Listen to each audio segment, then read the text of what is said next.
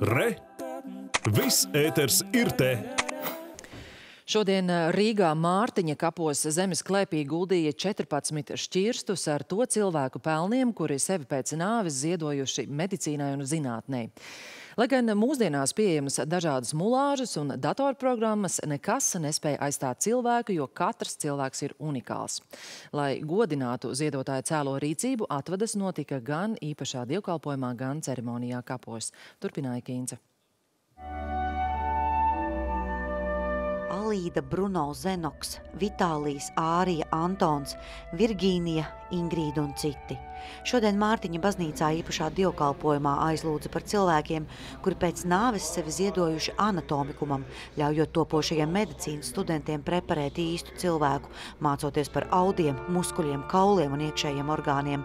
Šo cilvēku ķermeņi bijis mācību materiāls gadiem ilgi, tagad viņi kremēti. Cilvēks ir unikāls savā struktūrā, un tādēļ tas, ko mēs varam atrast cilvēkā, nekad nebūs atrodams uz uh, pat vislabākajiem modeļiem.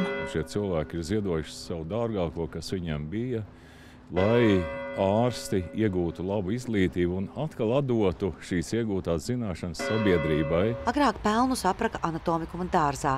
Šāda kremēšana un apbedīšana īpaši ierādītā vietā Mārtiņa kapos notiek kopš 2015. gada. Tad zemē guldīja astoņas urnas ar 29 cilvēku pīšļiem. Daži bija vēl no padomi gadiem. Un šī ir unikāla tradīcija visā Baltijā. Tas laiks, kurā mēs dzīvojam, kur materiālās vērtības bieži vien iznāk priekšplānā un kas man par to būs vai ne.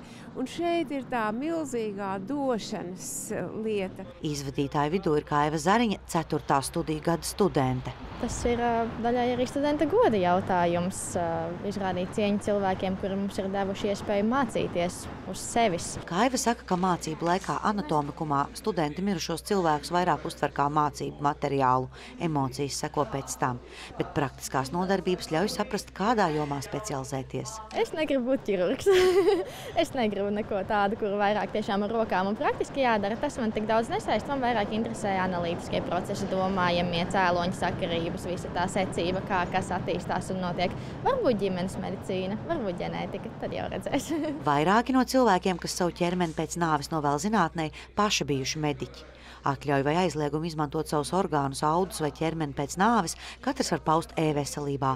Līdz vasaras vidum piekrišanu savu ķermeņa izmantošanai mācību un zinātniskiem mērķiem, pētījumiem, ārstniecisku preparātu vai bioprotēžu izgatavošanai devuši 1024 cilvēki.